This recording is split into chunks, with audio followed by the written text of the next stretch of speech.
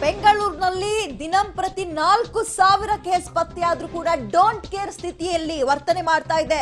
ಸರ್ಕಾರ, ಪ್ರಧಾನಿ ಮೋದಿ ವಾರ್ನಿಂಗು ಕೂಡ ಸರ್ಕಾರ ಎಚ್ಚೆತ್ಕೊಂಡಿಲ್ಲ. ಮೋದಿ ವಾರ್ ಮಾಡಿದ ಬಳಿಕವೂ ಬರೀ ಒಂದು ಒಂದು ಸಭೆ ಕೂಡ ಮಾಡಿಲ್ಲ. ಫುಲ್ ಸೈಲೆಂಟ್ ಆಗಿದೆ ರಾಜ್ಯ ಸರ್ಕಾರ. ಕರೋನಾವನ್ನ ಮರ್ತೋಗಿದ್ಯಾ ಹಂಗಾದ್ರೆ ಈ ರಾಜ್ಯ ಸರ್ಕಾರ ಅನ್ನೋ ಪ್ರಶ್ನೆ ಕಾಡ್ತಾ ಇದೆ. ಸರ್ಕಾರದ ಕಣ್ಣಿಗೆ ಕರೋನಾ ಕಾಣಿಸ್ತಲೇ ಇಲ್ವಾ? ಕರೋನಾ ನಿರ್ವಹಣೆಯನ್ನ ಮರ್ತೇ ಬಿಡ್ತ ಸರ್ಕಾರ. ಐದೂವರೆ ತಿಂಗಳಿಗೆ ಸುಸ್ತು ಸುಸ್ತಾಗಿ ಹೋಯ್ತಾ ಕರೋನಾ ವಿಚಾರದಲ್ಲಿ.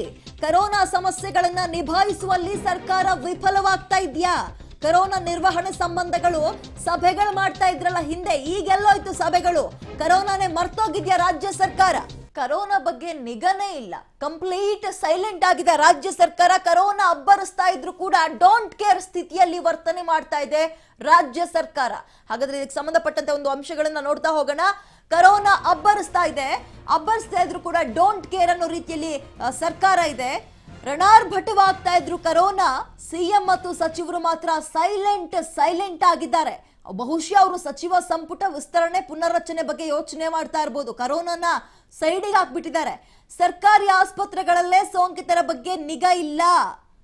ಈಗಾಗಲೇ ಎಷ್ಟೆಷ್ಟು ಹೆಣಗಳು ಕರೋನಾಗೋಸ್ಕರ ಬೀಳ್ತಾ ಇದ್ದಾವೆ ಅನ್ನೋದನ್ನ ಗಮನಿಸ್ತಾ ಇದೀವಿ ಆದ್ರೂ ಕೂಡ ಸರ್ಕಾರಿ ಆಸ್ಪತ್ರೆಗಳಲ್ಲೇ ಸರ್ಕಾರಿ ಆಸ್ಪತ್ರೆಗಳಲ್ಲೇ ಸೋಂಕಿತರ ಬಗ್ಗೆ ನಿಗಾ ಇಲ್ಲ. ರಾಜ್ಯ ಸರ್ಕಾರ ಏನ್ ಮಾಡ್ತಾ ಇದೆ? ಸಿಎಂ ಏನ್ ಮಾಡ್ತಿದ್ದಾರೆ? ಸಚಿವರು ಏನ್ ಮಾಡ್ತಾ ಇದ್ದಾರೆ? ಸರ್ಕಾರಿ ಆಸ್ಪತ್ರೆಗಳಲ್ಲೇ ಕರೋನಾ ಸೋಂಕಿತರ ಬಗ್ಗೆ ನಿಗಾ ಇಲ್ಲ. ಈಗ ಖಾಸಗಿ ಆಸ್ಪತ್ರೆಗಳ ಮೇಲೆ ಹಿಡಿತವನ್ನ ಸರ್ಕಾರ ಸಡಿಲಿಸಿದೆ. ಈಗ ಸರ್ಕಾರಿ ಆಸ್ಪತ್ರೆಗಳಲ್ಲಿ ಆ ರೀತಿ ಆದ್ರೆ ಪ್ರೈವೇಟ್ ಹಾಸ್ಪಿಟಲ್ಗಳ ಮೇಲಿನ ಹಿಡಿತವನ್ನ ಕೂಡ ಸರ್ಕಾರ ಒಂದು ಸಡಿಲಿಸಿದೆ. ಮುಂದೆ ಇದ್ಯಾವ ಕಥೆಗೆ ಹೋಗುತ್ತಾ ಗೊತ್ತಿಲ್ಲ. ಖಾಸಗಿ ಆಸ್ಪತ್ರೆಗಳ ಮೇಲಿನ ಹಿಡಿತವನ್ನ ಸರ್ಕಾರ ಸಡಿಲಿಸಿದೆ. ಆಸ್ಪತ್ರೆಗಳಿಂದ ಕರೋನಾ ಚಿಕಿತ್ಸೆಗೆ ಜನರಿಂದ ಒಂದು ಸುಲಿಗೆಯನ್ನ ಮಾಡ್ತಾ ಇದ್ದಾರೆ. ನೋಡ್ತಾ ಇದ್ದೀವಿ. ನಿನ್ನೆ ತಾನೇ ಒಂದು ವಿಚಾರವನ್ನ ಎಸ್ ಪಿ ಬಿ ಅವರ ವಿಚಾರಕ್ಕೆ ಬಂದ್ರೆ ಮೂರು ಕೋಟಿ ಅಂತೆ ಮೂರುವರೆ ಕೋಟಿ ಅವ್ರಿಗೆ ಬಿಲ್ ಆಗಿರೋದು. ಈಗ ಜನಸಾಮಾನ್ಯರ ವಿಚಾರ ಬಂದ್ರೆ ಒಬ್ಬೊಬ್ಬರಿಗೆ ಆರರಿಂದ ಎಂಟು ಲಕ್ಷ, ಹತ್ತು ಲಕ್ಷ ವಸೂಲಿಯನ್ನ ಮಾಡ್ತಾ ಇದ್ದಾರೆ. ಖಾಸಗಿ ಆಸ್ಪತ್ರೆಗಳಿಂದ ಜನರಿಂದ ಸುಲಿಗೆ ಮಾಡ್ತಾ ಇದ್ದಾರೆ ಕರೋನಾ ಹೆಸರಲ್ಲಿ. ಕರೋನಾ ಚಿಕಿತ್ಸೆಗೆ ವಸೂಲಿ ನಡೀತಾ ಇದ್ರು ಕೂಡ ಸರ್ಕಾರ ಮೂಗ್ ಮೇಲೆ ಅಥವಾ ಬಾಯಿ ಮೇಲೆ ಬೆರಳಿಟ್ಕೊಂಡು ಗಪ್ ಚುಪ್ಪಾಗಿ ಕೂತಿದೆ. ಒಂದು ಚೂರು ಸಭೆ ಮಾಡ್ತಾ ಇಲ್ಲ, ಚರ್ಚೆ ಮಾಡ್ತಾ ಇಲ್ಲ, ಖಾಸಗಿ ಆಸ್ಪತ್ರೆಗಳ ವಿಚಾರಕ್ಕೆ ಹೋಗ್ತಾ ಇಲ್ಲ. ಕೋವಿಡ್ ಕೇರ್ ಸೆಂಟರ್ಗಳಲ್ಲಿ ಅವ್ಯವಸ್ಥೆ ಅನ್ನುವಂಥದ್ದು ತಾಂಡವ ಆಡ್ತಾ ಇದೆ. ಚಿಕಿತ್ಸೆಗೆ ಡಾಕ್ಟರ್ಸ್ ಇದ್ದಾರೋ ಅಥವಾ ಹೇಗಿದೆ ಕೋವಿಡ್ ಕೇರ್ ಸೆಂಟರ್ ಅಲ್ಲಿ ವ್ಯ- ವ್ಯವಸ್ಥೆಗಳು ಸರಿಯಾಗಿದೆಯಾ? ಯಾವುದಕ್ಕೂ ಕೂಡ ತಲೆ ಕೆಡಿಸ್ಕೊಳ್ತಾ ಇಲ್ಲ. ಕೋವಿಡ್ ಕೇರ್ ಸೆಂಟರ್ಗಳಲ್ಲಿ ಅವ್ಯವಸ್ಥೆ ಅನ್ನುವಂಥದ್ದು ತಾಂಡವ ಆಡ್ತಾ ಇದೆ. ಆದರೂ ಸರ್ಕಾರ ಬಾಯಿ ಮುಚ್ಕೊಂಡು ಕುಳ್ತಿದೆ. ಬೆಂಗಳೂರಿನಲ್ಲಿ ಅಷ್ಟ ದಿಕ್ಪಾಲಕರು ಎರಡೇ ತಿಂಗಳ ನಿರ್ವಹಣೆಗೆ ಸುಸ್ತೋ ಸುಸ್ತು. ಕರೋನಾ ಬಂದಿದ್ದೇ ಬಂದಿದ್ದು, ಅಯ್ಯೋ, ಕೋವಿಡ್ ಕೇರ್ ಸೆಂಟರ್ ತೆಗಿತೀವಿ ಅಂದಿದ್ದೇನು. ತಜ್ಞರ ಒಂದು ಪಡ್ಕೊಳ್ತೀವಿ ಅಂದಿದ್ದೇನು. ನಾವು ಆ ರೀತಿ ಫೆಸಿಲಿಟೀಸ್ ಕೊಡ್ತೀವಿ, ಈ ರೀತಿ ಕರೋನಾ ನಿರ್ಮ- ನಿರ್ಮೂಲನೆ ಮಾಡ್ತೀವಿ. ಬಾಯಿಗೆ ಬಂದಂಗೆ ಬಡ್ಕೊಂಡ್ರು. ಈಗ ಒಬ್ಬೊಬ್ರು ಕೂಡ ತಲೆ ಕೆಡಿಸ್ಕೊಳ್ತಾ ಇಲ್ಲ.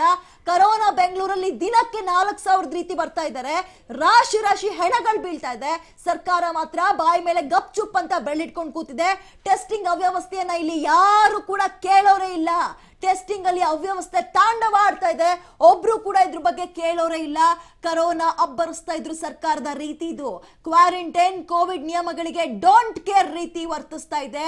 ಕ್ವಾರಂಟೈನ್ ಅಲ್ಲಿ ಅಟ್ಲೀಸ್ಟ್ ಮೊನ್ನೆ, ಮುಂಚೆ ಆದ್ರೂ ಸೀಲ್ ಡೌನ್ ಮಾಡೋದು, ಮನೆ ಬಾಗ್ಲಿಗೆ ನೋಟಿಸ್ ಅಂಟಿಸೋದು ಮಾಡ್ತಿದ್ರು, ಈಗ ಯಾವುದೂ ಇಲ್ಲ. ಸರ್ಕಾರದ ನಿರ್ಲಕ್ಷ್ಯದಿಂದ ಸಿಲಿಕಾನ್ ಸಿಟಿಗೆ ಡೇಂಜರ್ ಅಂತ, ಅಂದ್ರೆ ಡೇಂಜರ್ ಕಾದಿದೆ. ಸಿಲಿಕಾನ್ ಸಿಟಿ ಅಲ್ಲ, ಬೆಂಗಳೂರಲ್ಲ ಇದು ಗ್ರೀನ್ ಸಿಟಿ ಅಲ್ಲ ಕರೋನಾ ಸಿಟಿ ಅಂತ ಮುಂದೊಂದು ದಿನ ಹೆಸರು ಪಡ್ಕೊಂಡ್ರು ಕೂಡ ಅಚ್ಚರಿ ಇಲ್ಲ. ನವೆಂಬರ್ನಲ್ಲಿ ಬೆಂಗಳೂರಿನಲ್ಲಿ ಕರೋನಾ ನಾಲ್ಕು ಲಕ್ಷಕ್ಕೆ ಇರುವ ಸಾಧ್ಯತೆ ಇದೆ. ಬರೀ ಬೆಂಗಳೂರಿನಲ್ಲಿ ನಾವು ಹೇಳ್ತಾ ಇರುವಂತಹ ವಿಚಾರ. ನವೆಂಬರ್ನಲ್ಲಿ ಬೆಂಗಳೂರಿನಲ್ಲಿ ಕರೋನಾ ಕೇಸ್ಗಳು ನಾಲ್ಕು ಲಕ್ಷಕ್ಕೆ ಇರುವಂತಹ ಸಾಧ್ಯತೆಗಳು ಕಂಡು ಬರ್ತಾ ಇದೆ. ಹೆಚ್ಚಿನ ಡೀಟೇಲ್ಸ್ ನಮ್ಮ ಪ್ರತಿನಿಧಿ ಮಸೂದ್ ನೀಡ್ತಾರೆ. ಮಸೂದ್, ಹಾಗಾದ್ರೆ ಸರ್ಕಾರದ ಪಾಲಿಗೆ ಕರೋನಾ ಸತ್ತೋಗ್ಬಿಟ್ಟಿದ್ಯಾ? ಸೈಲೆಂಟ್ ಆಗ್ಬಿಟ್ಟಿದ್ಯಾ? ಜನ ಎಲ್ಲ ಆರಾಮಾಗಿ ಆರೋಗ್ಯವಾಗಿದ್ದಾರೆ ಅನ್ಕೋಬಿಟ್ಟಿದ್ಯಾ ಸರ್ಕಾರ?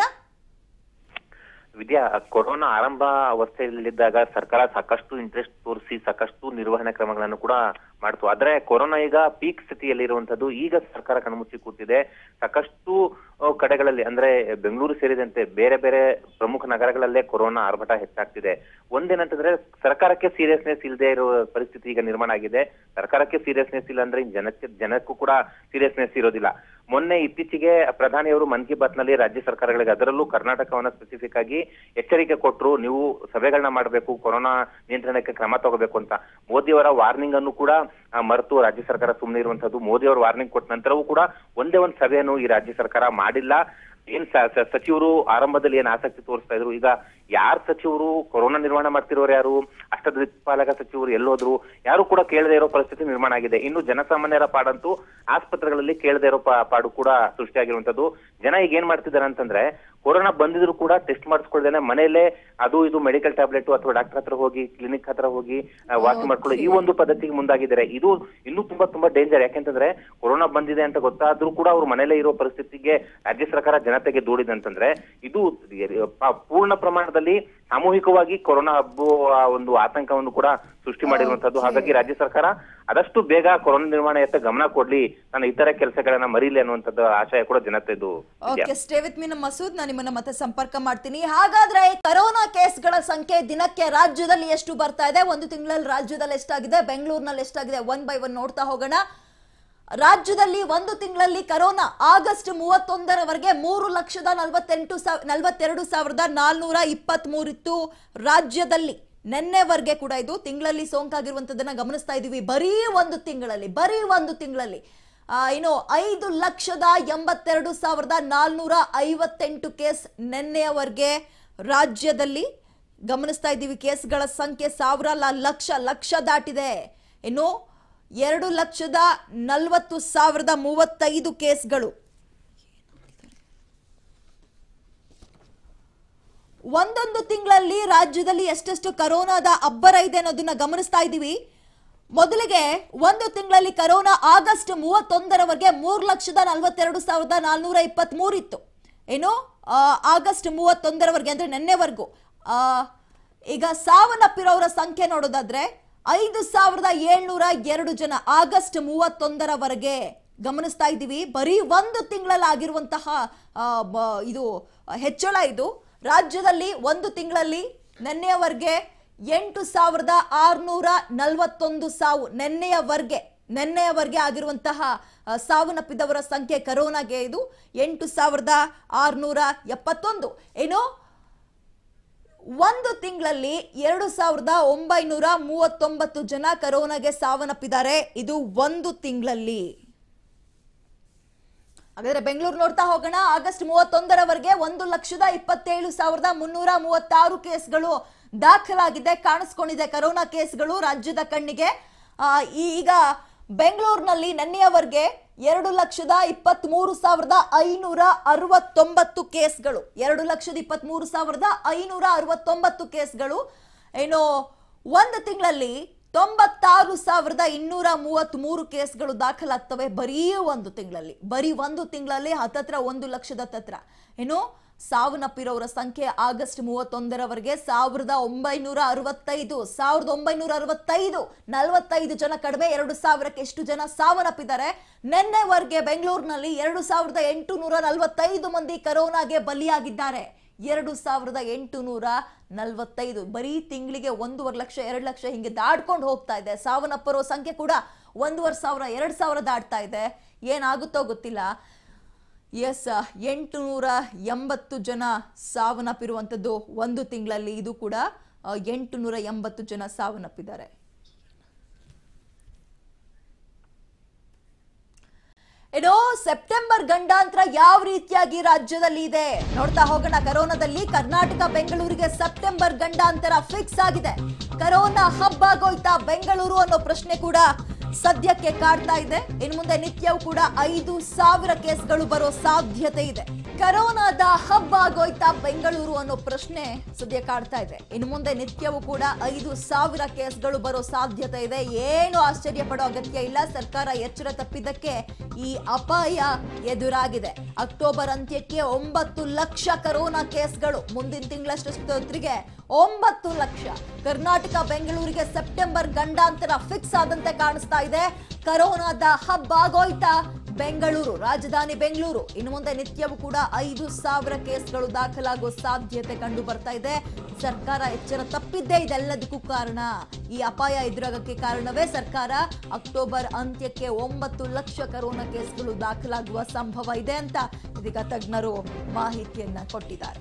ಎಸ್, ಕರೋನಾದ ಹಬ್ಬ ಆಗೋಯ್ತಾ ಬೆಂಗಳೂರು? ಯಾಕಂದ್ರೆ ಪ್ರತಿ ಇನ್ನು ಮುಂದೆ ಇಷ್ಟು ದಿನ ಎರಡ್ ಸಾವಿರ, ಮೂರ್ ಸಾವಿರ, ನಾಲ್ಕು ಸಾವಿರ ಅಲ್ಲ, ಇನ್ನು ಮುಂದೆ ಐದೈದು ಸಾವಿರ ಬರೋ ಸಾಧ್ಯತೆಗಳಿದೆ. ಸ, ಅಕ್ಟೋಬರ್ ಅಂತ್ಯಕ್ಕೆ ಒಂಬತ್ತು ಲಕ್ಷ ಕರೋನಾ ಕೇಸ್ಗಳು ದಾ, ದಾಖಲಾದ್ರೂ ಕೂಡ ಅಚ್ಚರಿ ಇಲ್ಲ. ಮತ್ತಷ್ಟು ಮಾಹಿತಿ ನಮ್ಮ ಪ್ರತಿನಿಧಿ ಅರುಣ ನೀಡ್ತಾರೆ. ಅರುಣ, ದಿನಕ್ಕೆ ಐದು ಸಾವಿರ ಕೇಸ್ಗಳು ದಾಖಲಾಗ್ತಾ ಇದಾವೆ ಬರೀ ಬೆಂಗಳೂರಲ್ಲಿ ಅಂದ್ರೆ. ಹೆಂಗ್ ಕತೆ ಇದು? ಸರ್ಕಾರ ಯಾಕೆ ಫೇಲ್ ಆಗೋಗ್ಬಿಡ್ತಾ? ಕರೋನಾವನ್ನ ನಿಭಾಯಿಸುವಲ್ಲಿ ಅಂತ.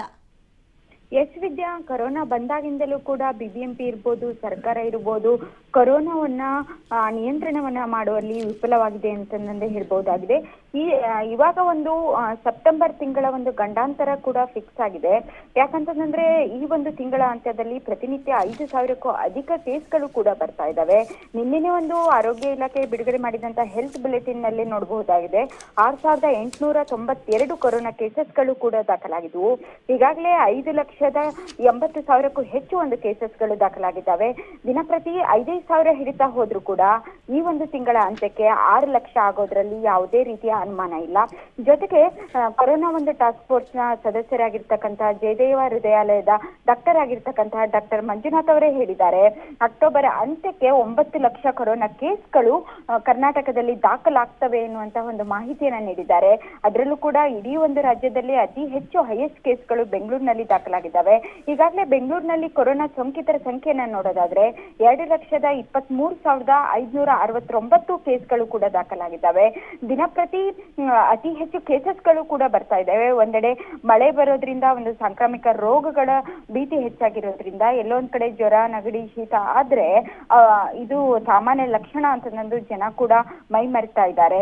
ಜೊತೆಗೆ ವಾತಾವರಣ ಬದಲಾವಣೆ ಕೂಡ ಆಗ್ತಾ ಇದೆ. ಅದಿಷ್ಟೇ ಅಲ್ಲದೆ ಈಗ ಒಂದು, ಕಳೆದ ಒಂದು ವಾರದಿಂದ ನೋಡಬಹುದಾಗಿದೆ ಸಾಲು ಸಾಲು ಪ್ರತಿಭಟನೆಗಳು ಕೂಡ ಬೆಂಗಳೂರಿನಲ್ಲಿ ನಡೆದವು.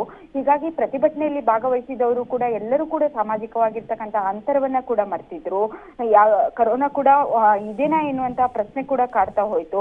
ಜೊತೆಗೆ ಬಿಬಿಎಂಪಿ ಇಂದ ನಡೆಸಲಾಗಿರ್ತಕ್ಕಂಥ ಪ್ರೈಮರಿ ಕಾಂಟ್ಯಾಕ್ಟ್ ಇರ್ಬೋದು ಸೆಕೆಂಡರಿ ಕಾಂಟ್ಯಾಕ್ಟ್ ಗಳನ್ನ ಟ್ರೇಸ್ ಔಟ್ ಮಾಡುವಲ್ಲಿಯೂ ಕೂಡ ವಿಫಲ ಆಗ್ತಾ ಇದೆ. ಇದೆಲ್ಲದರಿಂದ ಆಗಿ ಬೆಂಗಳೂರು ಒಂದ್ ರೀತಿ ಕರೋನಾ ಹಬ್ ಆಗ್ತಾ ಇದೆ ವಿದ್ಯಾ. ಓಕೆ, ಧನ್ಯವಾದ ಅರುಣ ತಮ್ಮೆಲ್ಲ ಮಾಹಿತಿಗೆ.